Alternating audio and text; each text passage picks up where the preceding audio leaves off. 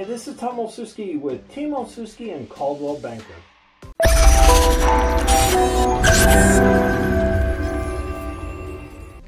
And I want to welcome you again to this video series on the answers for the top real estate questions. Over the years, I have always been asked lots of questions about selling and or buying a home.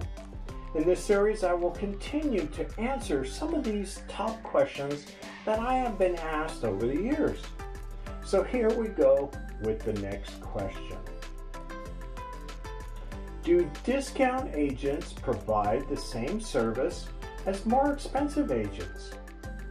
Well, as I explained in the last video, not all real estate agents charge 6%, but sellers shouldn't jump at the first discount agent they meet. Discount agents may offer fewer services or, or list their client's house on fewer services, potentially netting less when they sell. When sellers have more exposure, they generally get more offers and more competitive offers. Greater marketing exposure generally finds the buyer who will pay top dollar for your home. Talk to a range of different discount and traditional agents before you decide what is best for you. I have found that over the years, when the market gets tough, most discount agents, they vanish, they disappear. As when fewer homes sell, they cannot maintain a business at discount rates. Check out this website for more information on proper ways to market a property, especially in today's COVID-19 world. Well, that's it for now.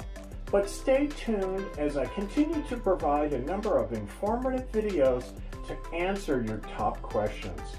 I hope this was helpful. Remember, if you have an immediate question, please feel free to reach out to me or my team. There will be a slide at the end of this video on ways to contact us.